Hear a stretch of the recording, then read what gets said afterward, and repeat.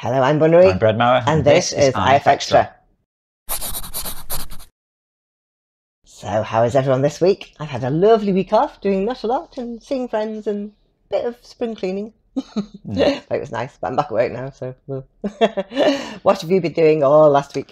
Um, well, two things really. I Mhm. mean, oh yeah, you know, let's say the boring bit. I, I've been I've been doing some client work and things, but you know that's good because it lets us actually pay to keep doing all of this stuff. Um, but also uh, last week we launched the year in review thing, Oh, yeah. so you could go back and see all of the previous um, picture description community pick uh, winners uh, and challenge winners and also you could see your most popular items for that like the most popular item you did each month for a year Wow. And previous years Wow, that's amazing. i'm not explaining this very well basically you could be like oh what were my most popular items in 2022 and then you get like a nice little grid and it's like well in january this and then in february this and then in march this Cool. um, except seemingly, um, I mean, it, it all looked right when I was testing it. Um, I say it would go January, February, Mhm. March. Yeah, sometimes it was like, you know, October, March, January. really? um, it mixed up the months. yeah, yeah, I'd, I'd forgotten to Hmm. get it to sort by Oh. month. Okay. And by, by chance, because this is how databases work, by chance, when you checked it was coming out in the right order. And I'm like, oh, yeah, that's all good.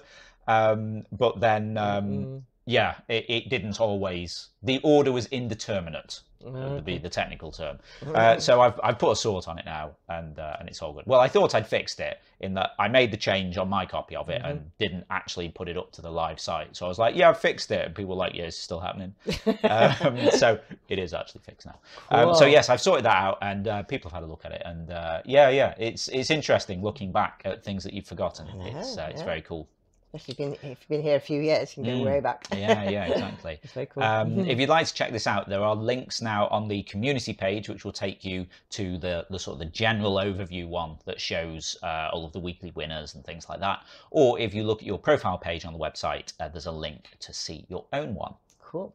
Um, that's about it, really. Okay. Mm. Right. Let's go and see who won this week's awards. Picture of the week this week goes to Cyan64 for Snoozing Fox.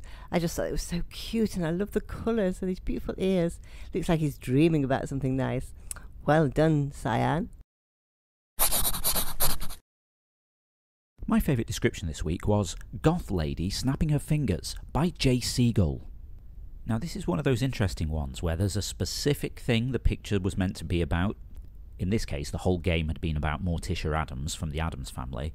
And this description manages to get that across without actually doing the easy thing of just saying the name. And then afterwards, it immediately gets back to Morticia Addams.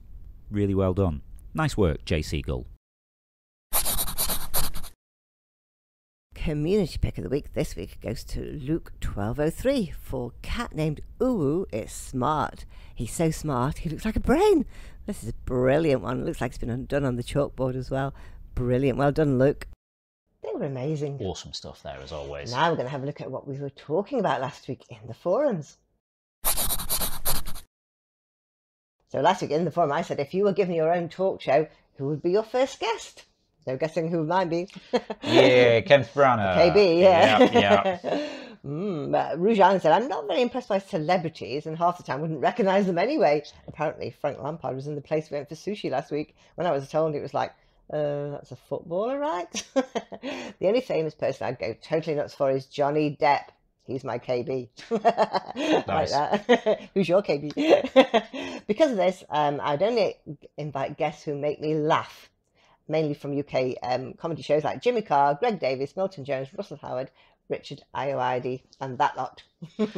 so that's quite fun. That'd be a funny, funny show. Yeah, I mean, I hearing um, that logic is making me think because sometimes when we're you know watching a thing or, or, Mhm. or talking about someone, I'm like, I bet they'd be really good to like go for a pint with. Yeah, yeah. and like just sit in the it? pub having Yeah. a chat with. Like, Yeah. I, I, Greg Davies, Mhm. yeah, I mean, he'd he'd be um, really fun just to like have a chat over a drink with, wouldn't he? Yeah. Yeah. And Russell Um, Howard always uh, very upbeat, isn't he? He yeah, always gives you the good news, Mm. not the bad news. I like Um, him. Yeah. Cool. Yeah, yeah, I'd, I'd, I'd quite like that as like a, a like a, a, a chat show. Um, I'd, I'd, I'd love to be in the audience watching that. Yeah, Mm, yeah. Totally. Uh, said, uh, maybe my choice would be a cat. Oh. Yeah. Uh, no one would get upset over a cute animal. They'd leave when they were done with someone's attitude. Most shows are scripted anyway, so at least I could talk with a cat, and the obligatory laughter would then be a nice extra. Bonus points if I get paid for it. Maybe the cat even has connections to interesting people. Well, you never know. Yeah, you don't know yeah. what cats get up to, do you? Well, you say that. What Mm. was that? Um, what was it called? Lil Bub, I think. There was like there was Mm. a cat on the internet that talked to people. I saw um, I, I saw it interviewing Michelle Obama.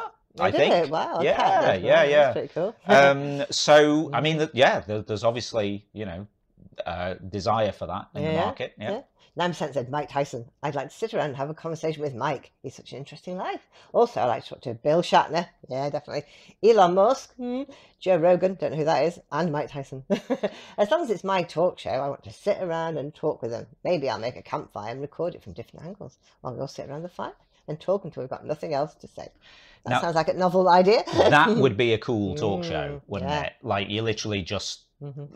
You know campfire chats or whatever cool. and everyone's just sort of sat around there you know they got like the, the mug of hot chocolate or whatever got a marshmallow on a stick and you're just all having a chat around a cool. campfire Mhm. that would be cool Yeah, I like that. yeah yeah i'd We'll, watch we'll watch that, that, one, nine Yeah. definitely. I'd, I'd watch all of these Yeah, me too. yeah Especially the cat. Yeah, yeah, definitely. cool. Okay, now we're going to go and see what we're talking about next week in the forums. Are you a morning or an evening person? When are you most awake and productive? I feel more awake in the mornings and prefer to get a lot done before the evening. I get tired quite early though. How about you? If you'd like to chime in with that, just head over to the general discussion forum. It's the pin thread for the week, so you'll find it at the top of the thread list. Cool. Now don't forget tomorrow night is quiz night. Zeitgeist, five rounds, five different topics. Yeah, if you haven't seen this before, every Sunday night at 7pm UK time over on twitch.tv slash interference, we're on Zeitgeist, the interference quiz of the week. It's a live interactive quiz stream where you play along against the rest of the audience, competing for points and places on the leaderboard. Each round's based on one of the week's drawings from Interference. Bunnery picks five of her favourite drawings and then uses them as inspiration for uh, for the round. So if we had a drawing of a seagull, we might have a round on seabirds, seaside resorts, things with wings, things that steal your chips. Um, but we won't find out until the night. Then we have to guess what the topics are. Um, but do you want to like tease us with the featured artists? Oh yeah, this week's featured artists are Quagbally, Slate Mist, Luke one two oh three, Walt Whitman, the famous poet, and underscore. Exciting. Mm. Okay, Some very interesting. interesting topics, yes. um, all right, so that's what's happening tomorrow. Mm. But what happened last week? well, last week the winner was Rougeand again, second time. Mm. Whoa, she's good. She got 212, and followed by El Guapo with 192, and then Grinning Goose was third with 190. Wow, yeah, nice work from Rouge Island there. Um, almost two in a row, but you know, Mm. not quite back to back. But uh, yeah, I remember when they won the first time, they said, "Oh, you know, it's a it's a fluke; it'll never happen again." Well, there you go. Believe in yourself. Obviously on top of their game right now. Mm. hmm um, right, so yes, we're we're back with Zeitgeist tomorrow, Yeah. uh, and that will be season fifteen, episode six. Okay. And now, because of the new schedule that we're going to try and do, Mhm. this is all the work life balance thing. Rather than doing 12 week seasons and then having a week off, we're going to do six week seasons and have a week off. Mhm. So, end of season tomorrow. Yeah. And then next week, that'll be the 29th, 29th, I yeah. think. hmm Um, we are going to have a week off. Mhm. Uh, and then we'll be back with uh, the start of the next season the week after that. Cool. And so hopefully this is going to be the plan. So we'll do six weeks, have a week off, etc., etc. As, as and we'll sort of keep to that as much as possible, barring any you know random things that come up. But it gives us a little bit of, of extra um, time off. Mhm. Work-life balance. Mm, I hope you're impressed.